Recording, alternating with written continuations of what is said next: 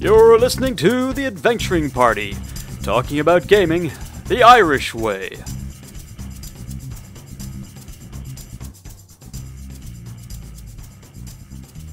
Welcome to the party. I'm Dave. I'm Owen. I'm still Savage. And I'm uh, Warlord Scarr. And today we have a question. Say hello, question. Hello. I am, in fact, the question. And, And tell us, uh, oh, question, what form do you take today? today I take a question that goes to the very heart of man. Man's and woman's indeed fear. And in this case, I am talking about fear of something that is different than what you were used to. You're, imagine, if you will, you're playing a, a game. Could be a fantasy based game, could be a sci fi game, but it's been going well. Everybody knows the part. Everyone's kind of gotten used to the, the campaign, the setting. But then somebody makes a decision. Not necessarily intentionally, but could be just by an accident. Someone decides to uh, check out, you know, decides to go, well, what happens if I try and grapple this person? And then a look of horror emerges over everyone's face because in doing so, somebody has opened up the door, a door to another world, to bring another gaming system that is going to intrude into your carefully crafted campaign. Your entire game session is about to be derailed as a new and different game sys- subsystem comes into play. You're about to receive a visitor that came from a place of poor play testing. I'm talking, of course, about poorly designed game subsystems that just you know derail everything you plan to do that day. Aha. Okay. So, the question for it is you uh, has brought us a really interesting uh, topic. Uh, question. Obviously, uh, we've kind of met on our Discord. Join our Discord. Link in the show notes. Thought I'd get that one in early. Um, and we, yeah, the question is one of our heroes. Uh, heroes in the Discord. Anyone really who's been on as a guest or as a uh, a guest host or any other sort of favorite hostage. Yeah, that's probably a good way to describe them. Um, And you could be too if you wish to, you know, pose a question like the question, uh, and we might cover it on the show. But uh, okay, let's turn our minds then to the matter at hand. It's a great question. Subsystems and uh, and like, you know the ones you don't notice, fine, but the ones that do, everyone goes, "Oh no, this again." Any uh, any great examples out there?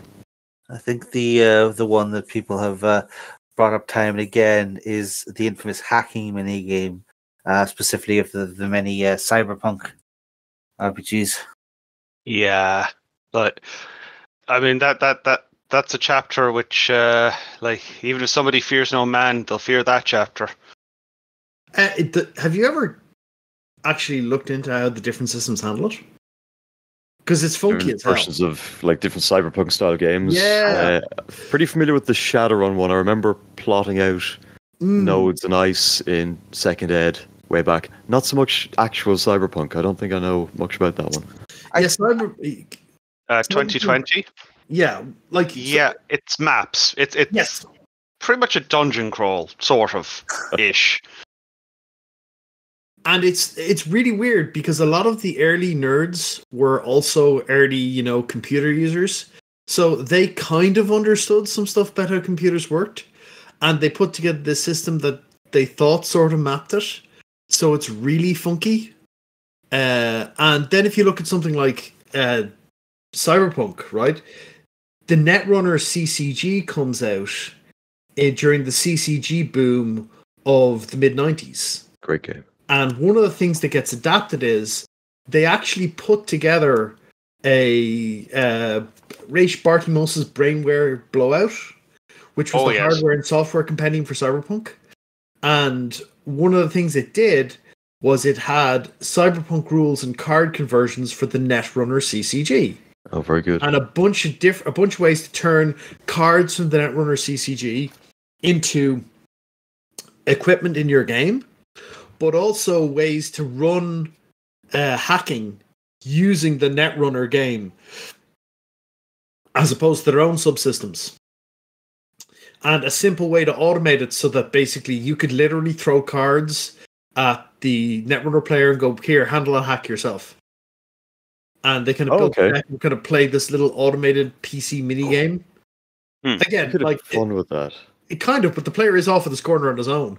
Uh, Sure, but game you, but you're also going like, okay, the goons are about to come around the corner, and the street samurai's like, Johnny, get the door open, and Johnny's like, I gotta shuffle again. Shut up, lost count.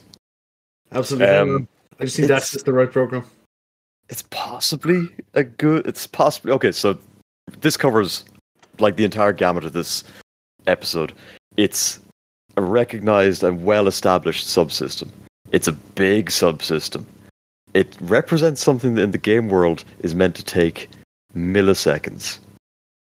And it has, and the irony, of course, like most of these subsystems we're going to discuss, is that it, it is, it's entirely its own thing. It takes forever, and and it kind of pulls one of the players and the GM away to do something. Or in this case, they they had to release a CCG, release a splat book, and then build a subsystem to automate what the, what the GM would otherwise have to stand over while the player was busy kind of pulling cards it- and equipment out. It's sort of Amazing. a, a, a thing where you it- do you do this kind of thing like with an open lock check or the like? Do you just let the player roll dice at a problem, or and you just say, okay, that that was simple, move on, or do you want to, to like quote unquote feel like hacking? And I think that is a, lo- a lot of things is like, Some go ahead. some men would argue, do we really have to have a subsystem for combat? Can't I just make a fight check and move on? Some games do. Uh, I, I Yeah. believe some games do have that. Uh, Some games will all do that. Yeah, But, like- all the way into the weeds there. You see, I think if the game if it's meant to be an important part of the game, it should the game that part of the game should probably have a bit of mechanical heft to it. And if it needs a bit of mechanical heft, it might end up using a slightly different subsystem to the main core resolution mechanic. And I think this is where you get in the weeds. You want it to feel different and important, so you end up designing a different subsystem. And as you go deeper in there, you're like, well, I, it should feel more like actual hacking. You have to get access and get through firewalls, and there's mm. programs out there to stop you. And you start adding more stuff on because you're kind of into it, and you end up designing this whole boondoggle that's everyone else is going to bounce. Like one player interacts with regularly, the GM interacts with in sufferance, and everyone else is mystified. Oh, it's just I, I think it may be i- i- it's a problem of playtesting in the sense that the hacking rules were almost certainly probably playtested very well and extensively, but maybe they nobody had the idea of well how do we playtest this in a party game and what the other party members are doing because I imagine that you know it would have become very obvious very quickly three to four people are just doing nothing here while you're doing this. You'd think, wouldn't you? There was a an experience we used to have in uh, Alpha War playtest, the CCG, and one of the things that happened was I would go, "Has anyone read the spells cards?" And everyone was like, "Oh God, no." And I said, "You've got to read the spells cards, lads. There's some broken stuff in there." Because everyone would just go, "Oh, I don't use spells. Just, I'm not going to bother looking at them. I can't evaluate when they're good or not, really." So you need a certain amount of expertise and to touch on it. And people only the interested people play test it. So only the interested people give feedback. So it all looks fine, and then the non-interested people interact with it and go, "What is this madness?" Go on, uh, uh Scarr, you were saying. Well, I was just going to say, like, the issue with a lot of these things is like they want it to be more than just oh, it, it's an open locks check, but with computers. Um, but because it's a single p- player part of the game, essentially, they, don't see an obvious in-universe way to have multiple people in the party, you know, contribute to hacking. They, they but they still wanted to be an in-depth system. So they they there there- there's no they, the designer looking for this cyberpunk experience doesn't see a way to compromise. They have to they have to make it feel quote unquote feel like hacking, but also um it has to work like hacking, and that means you have to exclude everyone from the party and and but also make it really complicated. And like it's obvious that a compromise has to happen, but where's the compromise? And like if you're looking for that particular feel, it'd be hard. I've often thought like if you approach the problem from a game a gamist point of view, you can very easily have it so that it's like sort of mini combat where each party member who's not the hacker could like take the role of someone's uh, hacking software. Like you, you know, the fighter Yeah. becomes the the the brute force um Hmm. the, the, the brute force program and the you know the uh, street mage becomes the support program or the you know something like that but that's not a thing that happens in the cyberpunk novels um it doesn't happen in neuromancer so game designers don't put that kind of thing in they're the Good. cyberpunk people are approaching it from the Warlord dawn. Scarr, wi- will you be my Pokemon? will you get in my pocket so I can pull you out it's and make Digimon. It's, it's, oh, it is Digimon. I'll, Digimon underrated show. Let's just let's just take a, a wild sidetrack for a second.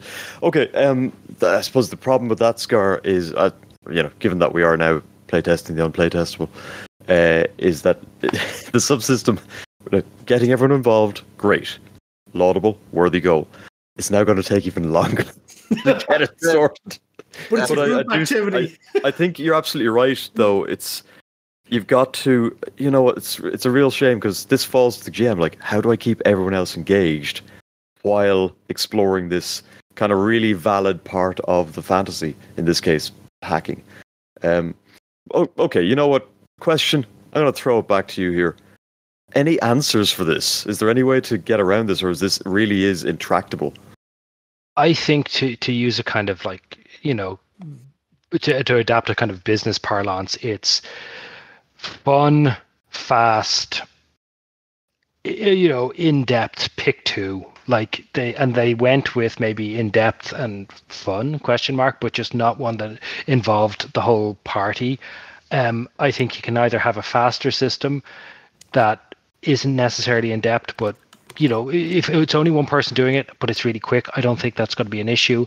Whereas if you are going to make it take long, yeah, consider drawing the other players in uh, with the the proviso of okay, yeah, this is slow, but like it's either something that's really quick and not really um in you know involved or something that that is involved but for one person and that's slow. And i think that that's the worst combination of things. So i think yeah maybe shane's idea of slowing it down but if you want to slow it down just bring everybody else in or you speed through it and just to get through it because you're you're taking time away from other gamers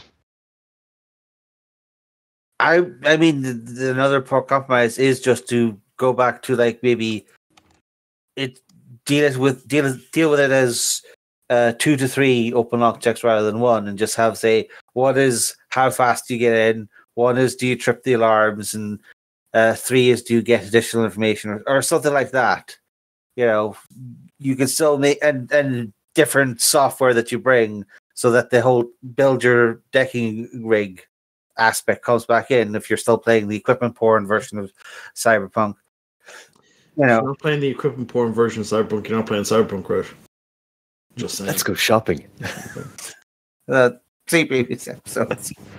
Okay, um, so we've like that's the the clear sort of poster child for this problem is definitely hacking and the hacking subgames in various cyberpunk. Yeah. Do we have any other good examples of subsystems that seemed like such a good idea at the time? I What, think uh, one, I'd Special argue combat. magic in general, like most systems. that's sort of a thing where it's it's less that the magic is like a dis- undesirable thing, but that it is very clearly it ha- it has been given so much extra attention over the mundane. Uh, I roll dice and hit sword with man. I'll, I'll, I'll, I'll, I'll give a very simple example of what I'm getting at. Um, compare the size of the combat rules in in most editions of D&D to the size of the magic rules in any edition of D&D. Yeah, we're we're very well aware of how big the the spell list can get. See, uh, see our spell call episodes. Ongoing. We're not sure if these hosts will finish it, but they've certainly started it. Um, yeah, are, are you referring to uh, the size of the, just the spell resolution rules, or the are you folding in all of the spell lists as well?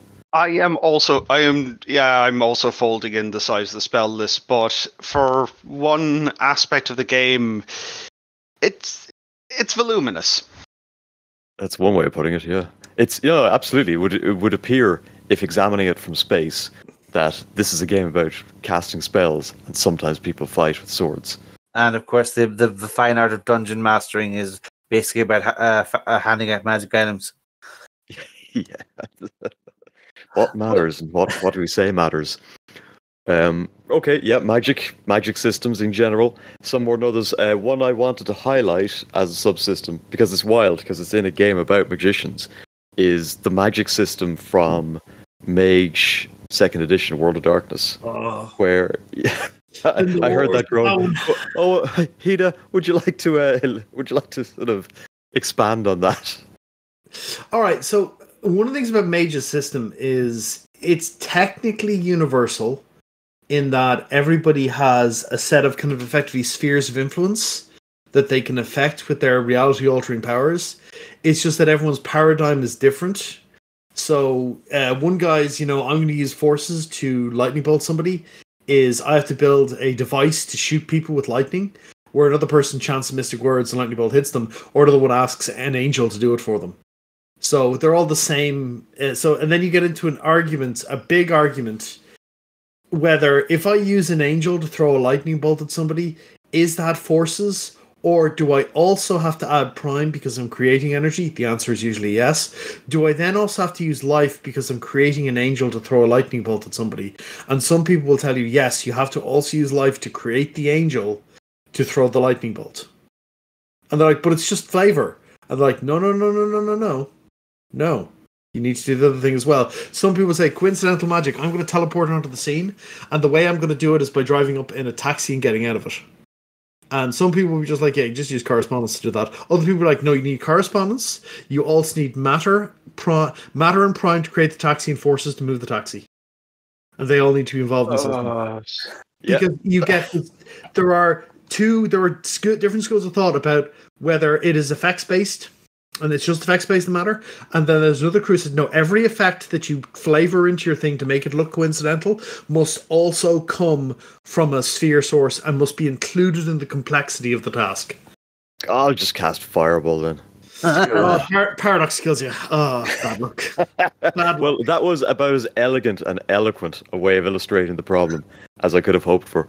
Yeah, it's a the magic system is mechanically fine as far as the world of darkness goes, but yes, when actually figuring out at the table with your GM or even the, you know other interested parties uh, how it works, complete nightmare, and it's a massive subsystem. I mean, it's you know, argue because there's still the combat. Like you can just hit the guy. With the katana yeah, with the katana for preference because let me tell you guys the damage code is just way better if you So want to go if you want to go look back at oriental superiority the the you do Oh. not touch l54 go and take a look at uh at the, uh, Watsy not in, uh, uh, not not Watsy, World, uh, World of Oh. Darkness in the uh, mid 90s you know why is Panophilia was pretty high. why is the katana two more damage dice than the longsword because Japanese steel folded 1000 times Yeah, because the, the, the, the art of Japan is generally not very good.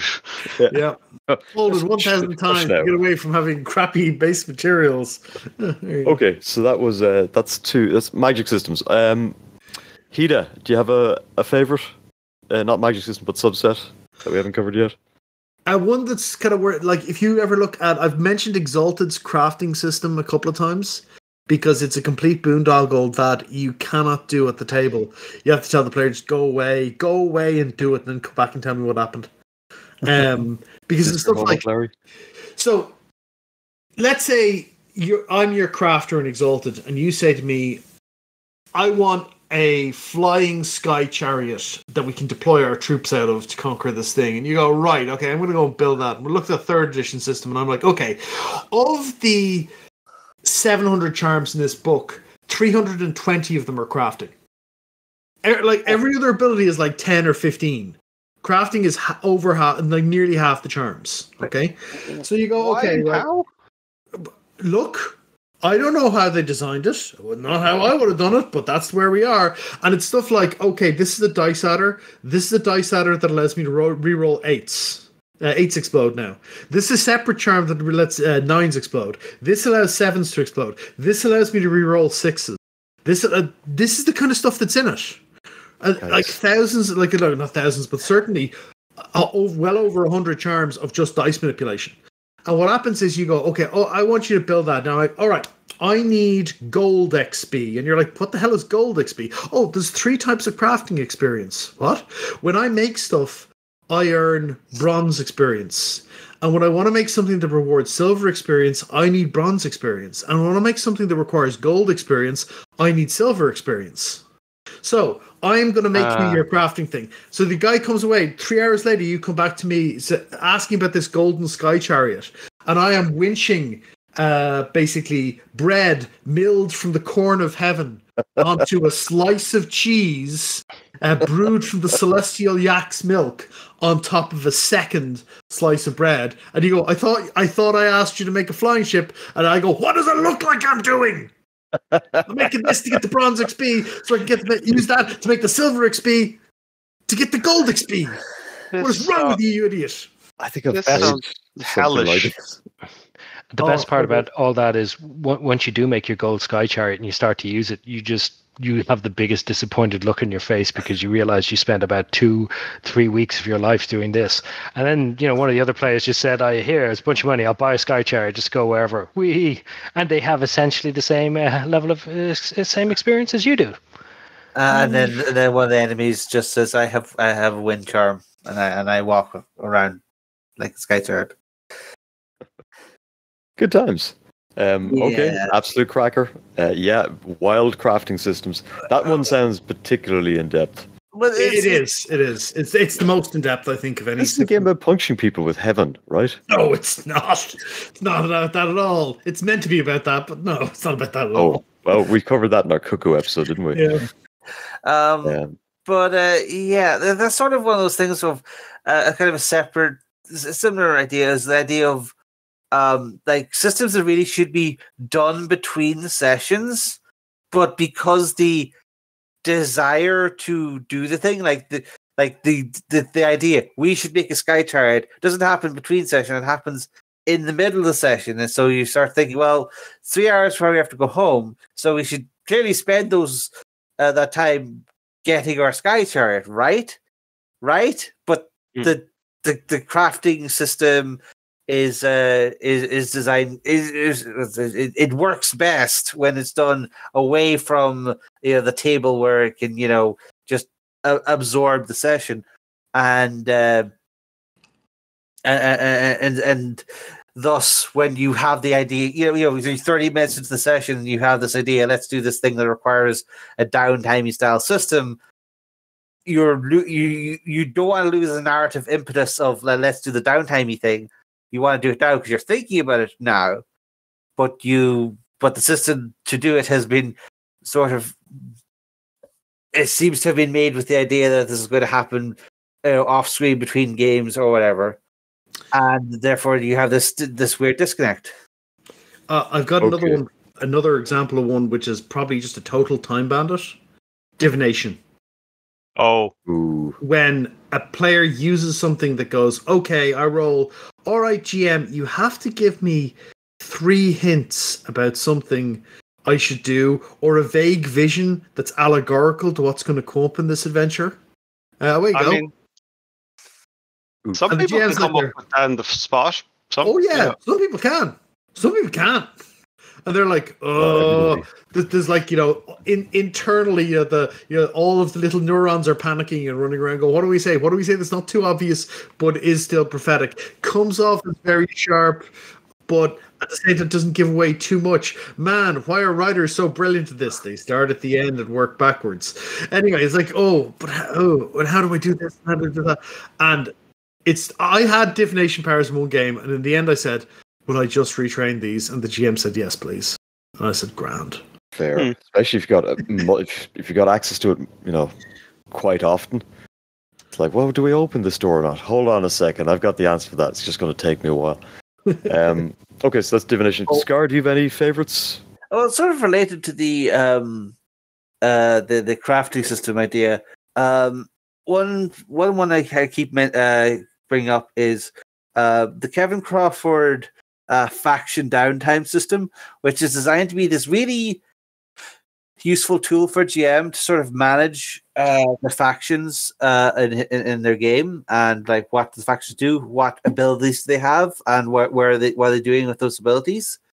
Uh, so you like you'll set up your faction, say it has uh, uh, a plus six in uh, skullduggery, plus two in wealth, and plus three in you know break people's heads. Uh, and then they'll have like one unit of leg breakers, uh, a unit of spies, and a you know a drug smuggling operation in, in a, random city. And these are intended to be both things that factions can use to attack each other, or or make money or whatever, but also something that the G- uh, the players can come stumble across. So if the GMs are in City X and they come into the drug smuggling operation and they uh, knock it over or whatever, then the, the, the GM could then just go to the the factions sheet uh, and then uh, strike off the drug smuggling system, um, and you know that helps is meant to you know allow both interaction between the players and the factions, but also uh, simplify the process of faction. The problem is that this is also designed to be the same system that uh, players use when they become rich enough to become kings and have their own armies and their own factions doing their own stuff. Mm-hmm. And so the, the system has to have what we would call significant um, hacking like gameplay, and therefore all of a sudden this thing that this GM tool that is meant to be done used between sessions to uh, make factions go up and down is now dragged into the main game, and now you're starting to have to not only do this interplay of oh there's this faction here and this faction there and you have intel on that faction so you know where their units are where their drug smuggling is but not this faction. And uh then then there's the additional uh, uh, question of um okay but how often do we have a faction turn? Like we want to have like 10 faction turns right now uh, and so the GM has had I've had three of these in the entire year long campaign because every every day in this campaign takes up 20 sessions because of how detail focused you all are and you know Oh, I like this. The player's problem. Because you're, you- you're doing it wrong. it's it's it, it's not necessarily going to be that that like that, but I this is just me extreme example to Sure. say, but it is bringing a, a a thing that's meant to be like it says in the book. Whenever the GM thinks enough time has passed or enough adventures have, Mm. have over that the factions should have done something. You know, you could say it's solidly a month if you want, but some people like say it's once per you know player adventure or whatever. And then is that enough time for what the, the players want? And and you know you're in you're suddenly in this middle ground where the system is kind of useful for players and kind of useful for GMs, but now it has to be in this sort of compromise mode where it works a bit for both, but maybe not ideally. And then you can get cases where a GM might prefer uh, the faction just has like plus three stabbing. I roll for their stabbing. Um, uh, whereas players would like would like basically like to well like two players want to have like this cool board game and uh two other players uh do not want to deal with factions at all another player is like we could do the stabbing thing um or the money thing but when it comes to uh skullduggery no no no we need a new subs I get you. It's a good example because, as you say, it can work fairly seamlessly in the background as long as it's just the GM looking at it. And then as soon as you plug players into it, it becomes just a whole.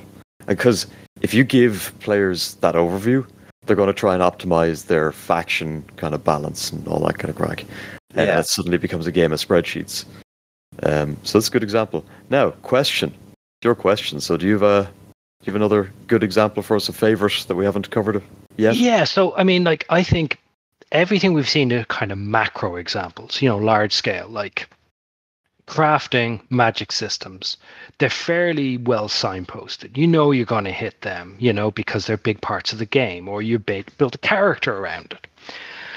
The ones that I think are also get overlooked are the small things like small sections of the game that you you know that you don't think at the time oh yeah we need to kind of make sure to do that or you know have that set up or whatever but when you go and try and do them and you know you you get completely shocked at how this in theory small or you know not main part of the game is just going to take over the running of everything like I was talking with fellow hosts uh, Hida about this, but you know, one example is Rogue Trader.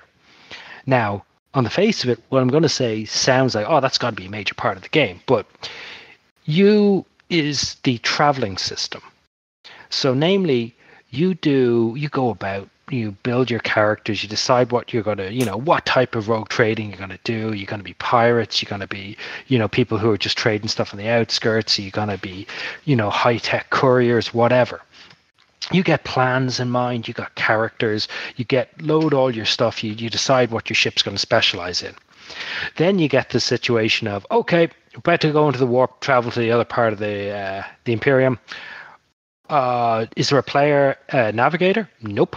Okay, let's look at the chart for this. Uh, you got a the the standard navigator on the ship is thirty percent in the stat. Um, mm. So you just basically need to make a bunch of rolls beforehand to represent all the stuff the players do, and they will just give a bonus to the navigator who's about to make the check. And he fails. And I roll on the table, and you're all dead. Good game, guys. Good game. GG. Amazing. Next time. Like, yeah, it, it's the type of thing where it is a relatively speaking, despite the fact I've talked about, you know, Rogue Trader being about traveling across galaxy, the actual traveling in theory is a small part of it. But if you roll into that section, it becomes very much a, and now you got a dice with death and you know literally could in theory end end the campaign unless the GM's willing to fudge it. You know. Yeah, you're you're kind of like okay, it's not a subsystem you can ignore at all, but somebody has to commit to playing the navigator now. It's a cool. Um, I disagree on not being able to ignore it. Uh, if nobody wants to play a navigator, I'm willing to roll it, put in an NPC navigator, or like hand wave it if that's an aspect of the campaign nobody is interested in, um, and just throw in the odd random encounter effectively. Yeah, yep, it's, it's, it's a compromise, but it's not the one listed in the rulebook. Like it is. Oh yeah, well, it is one of the things. It's absolutely house rules. yeah. well, I didn't read the rulebook then. um, okay, yeah, so I mean, look, it, it absolutely just can can go to the, the kind of the solution being look the, the players all kicked together. Here's a 25 euro gift uh, just eat gift card that we're giving to you gm on the condition that we never have to roll any navigation for this entire campaign. You know just say that we, we we stunned you with you know all ones every time we need to go anywhere and we'll all you know have a great time. That's, that's i think a way of handling it I, I, would. How many how many players can I hold hostage for gift cards to not engage with subsystems? Like, come that, on. Well, there, there's a vein we could exploit, but uh, but uh, yeah, th- there's also a, a, an optional alternate, so, you know, travel system in I believe the Navis Primer book, which uh, frankly is even more dangerous. I'm not sure yeah. what the logic behind it was, but it uh, exists. I mean, for for a lot of these kind of systems, I think the the intent is that you know the bad stuff is you know looks really really bad, so it looks cool when uh, your expertly built um, super veteran navigator avoids it all with uh, deft rolls. But uh, you know, you this is still a Wolfrock based uh, uh, rule system, so you know the bad rolls will come up eventually. There's always only so many fate points you can uh, throw at not having demons, uh, uh, you know, hitchhiking uh, around uh, around the back of your uh, your your cruiser. Right. so, if I were to give an example, and you know what, I think I will. Um, the the big macro one is shopping, but I think we all know where that goes. Uh, my favorite subsystem that makes people groan every time it comes up, despite the fact it's not very big, is good old fashioned D and D, any edition grappling rules. like, oh, oh no, this again. It's like uh, the GM grabs the like, look up the grappling rules. We never use them. They're always like, wait a second, does that mean this or that? It's a it's a fun little time sink. If you if you need a minute, just you know invoke the uh, the Lord of Grapple. Uh, gotcha. Yeah. And uh, and let it just you know it's going to take a while. That that combat round going to go on a couple of minutes longer than the usual. it, it's one again one of those situations where it we have to if we want to do it right, quote unquote right, we have to we have to uh, you know put in extra effort in it to make it look all shiny. Um, and Yeah. The beautiful thing is, usually, unless you've got a player character optimized for grappling or a monster, it's probably just going to fail. it's not going to do anything, but you spend an extra couple of minutes doing it, uh, which I think is a perfect example of a subset that just wastes time. yeah, Um, okay, so I think we've all uh, we've all taken a good shot on this one, but we didn't has even in the course of vehicle rules. ruminating, eh? We didn't even get into vehicle rules, but uh, we can maybe Vehicle have, ru- well, I mean, if you want, if do we, are we Yeah. doing another go round here? Let's start from the top again. Dave, what's your second favorite time waste of a grapple of a uh, a subsystem? Oh god. Um, We'll, we these are these are quick fires. We Uh, leave uh, the audience to grow to draw their own. uh, in almost i- i- in in almost a, a- any system. excellent. Uh, Hida, Two very quick ones. In the board game Minion Hunter, the healing mechanic. When you got injured, you went into hospital and then spent three turns trying to get out of hospital.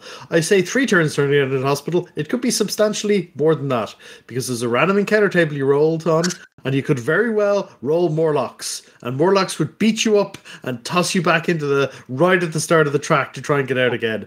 It was hell itself. I watched people go into the hospital and spend the entire game in the hospital. The meta of the game became you needed to get the biggest weapon you could and a couple of sacrificial items so you could fight your way out of the hospital. You get out the, nearly the front door, up, Morlocks jumped you just as you went back in, right back into intensive care. You're going in for surgery. Oh, Doctor's a Morlock. Gotta strangle him with the, uh, gotta strangle him with some of the cords around the thing. You're gonna stab him with your scalpel. That sounds It like a was the awesome scenario. uh, it is the worst, or it is the worst because every turn it's a co-op board game. That's every turn you're not advancing the victory condition. You're just in hospital, getting duffed up by Morlocks and tossed back into hospital. The meta of the game was like, okay, you need to get the M60 or a flamethrower so you can get out of hospital successfully.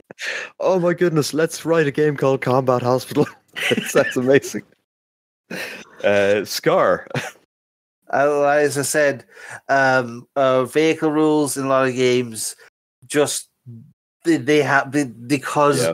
car cars are different from people. Uh, it, it causes you know again the the GM the designers feel the need to start tossing on subsystem after subsystem uh, to make sure that you know driving feels right, and then you end, you end up with like a chase sequence. There are a line of cards across the table, and people juking back and forth across um, uh, the road. And you know, if, if you do it right, and like I pick on Savage Worlds, this is the one I know the best, but it's probably one of the better iterations of it. But yeah, you, in a lot of systems, um, uh, trying to add in vehicles uh, as anything other than uh, I roll my drive skill check, it can just suck up entire sessions. And what's Mm. this fast, dramatic uh, chase sequence, you know, turns into a slog of edge cases and uh, you know overly lethal ca- crashing rules. uh, question. You got a second one you like? Yeah, so ju- just similar to to, o- to Hida's kind of thing there, just one small system that game that just kind of derails near the end. Uh, Talisman, the old uh, Oh, GW kind of board game where basically, you know, the entire game is about running around a board, doing all these quests, getting items. Then when somebody gets on the, the track for the Crown of Command, it just basically becomes this really weird dice rolling section where like, yeah, I'm just throwing lightning bolts at you and uh, you got to do all kinds of stuff just to be able to slightly stop me from advancing this win condition. And, you know, it basically splits the game. it makes the second half of the game almost invalidate the first entire section of the game. It's sort of like Quidditch in, in Harry Potter, where it's like, yeah, and now we've got one rule which makes the previous part of the game completely irrelevant. Uh, But it was the journey. It's- it- you, you had to do that to get there. It's, yeah. No, I hate talisman. I think it's an awful game. so, so I'm happy to stomp on any bit of it. Um, I already mentioned shopping. I think you can all kind of figure out why that's a, a time suck. Uh, oh, actually, but I will. I'll elucidate. Elucidate on the point. elucidate. Elucidate. Thank you. Uh, I knew I needed to add something extra there. Uh, a C in this case. Um, shopping systems take up time, but shopping systems where the designers get cute and introduce kind of rarity or black market modifiers. So it's just never a simple look up the price. Like now I gotta now I gotta ask the GM, well, is it rare in this region? Uh, who owns the you know who owns the supply lines in this region? The GM's like, oh, let me see. Mm, I don't want to say you can't have it. So now I gotta do some math. But uh, yeah, okay. So that's the second go round. No third go rounds. that's my rule. So uh, we've all had time to sort of ruminate on on this question.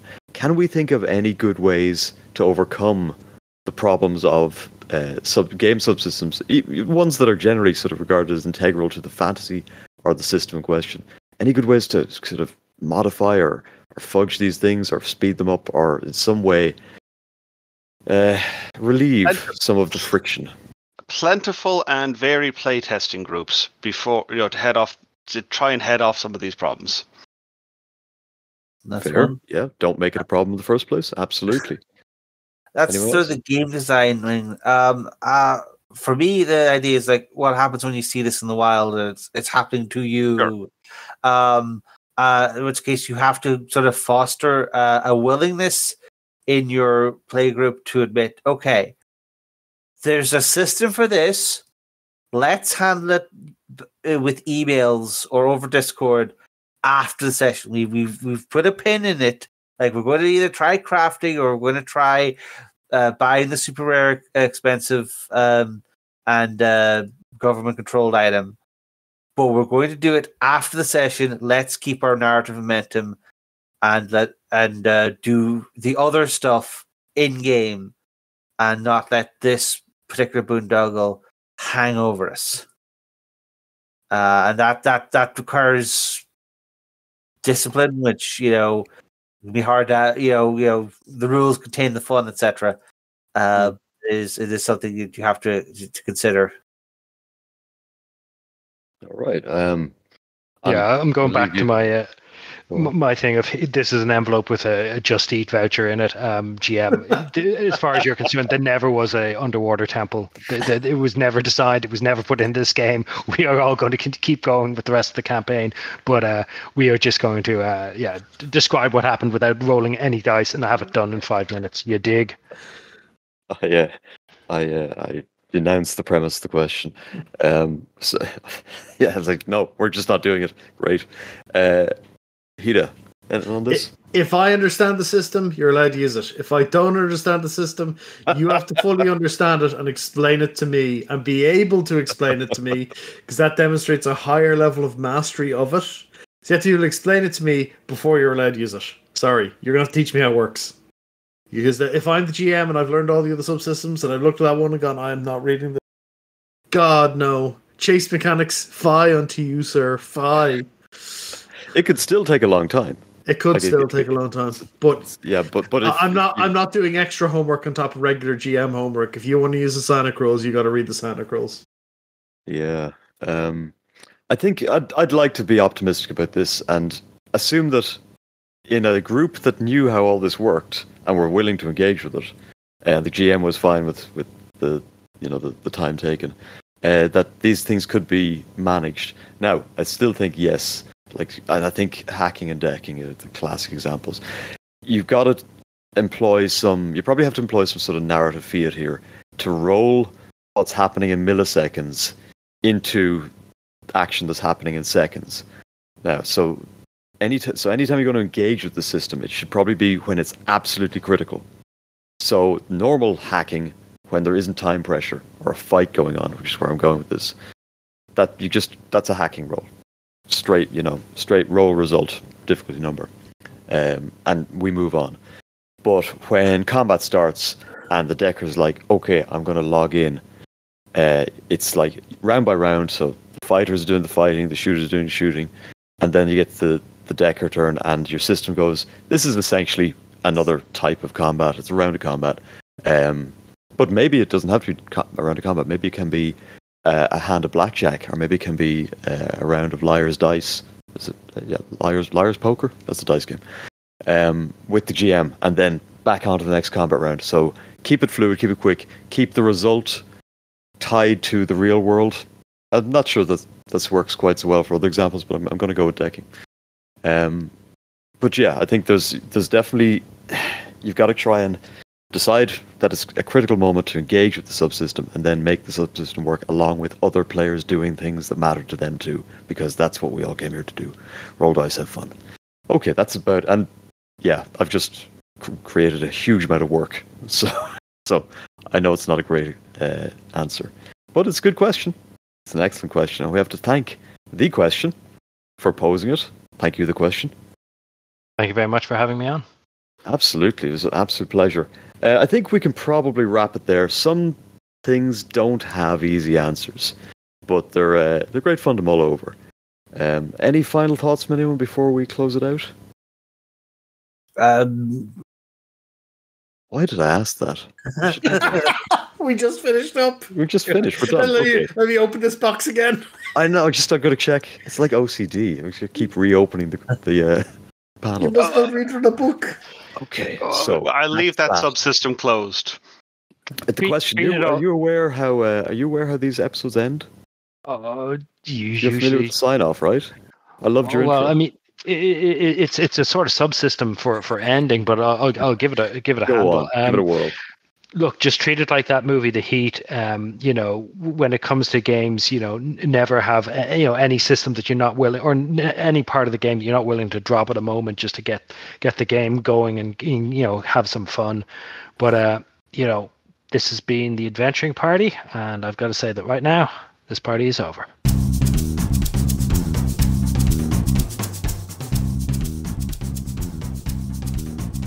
Thank you for listening to the Adventuring Party. Join us on our Discord server, where we keep the party going after hours.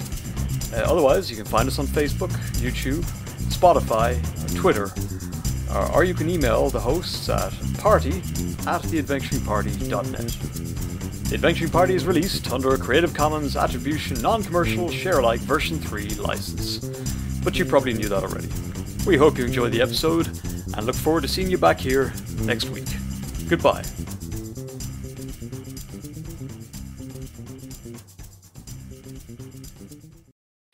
Boom. Well done. Love it. it. Okay, that's that. Now, uh, any anyone got anything on their minds? um, Feel We've got enough people here for a good after after credits roll. um, I thought This- that was this going to be the after credit, the you know you you reopening the the, the entire be, yeah. podcast just after finishing it. I'll uh, I'll I'll go entirely sideways in this because I was supposed to be doing research uh, before we started. Instead, got sucked into a demo for. Oh wait, I've just reopened it. No, don't do that. Uh, for a game called. Uh, what is this? It's on. It says demo on Steam. Skald against the Black Priory, which I can Oh, yeah. highly recommend. Looks great. Uh, I was Played I'm yeah. pushing uh, Chris to play that one as thing because it's totally Oh, it's entirely his Definitely bag. you Yeah, know? Kipfer would Actu- would definitely get something out of it. Actually, uh, Mick, just on, on that basis, the um, there is a, a mini game in a computer game. Just while we're on the, the topic, Oh, I, yeah. was, I played a while ago uh, called Judgment. It's basically a, it's a Yakuza game. You know, the kind of the the the Sega games that were you know pretty much Oh, inspired by kind of Shenmue. And one of them, the had, these are games that, are infamous for their weird mini games. The strangest one I've come across in Judgment is there is a section for when you pick up keys inside like buildings, which are sort of like dungeons. That there's a mini game for going up to a door and selecting a key from your ring of keys to Why? open the door. Yeah, and you know what?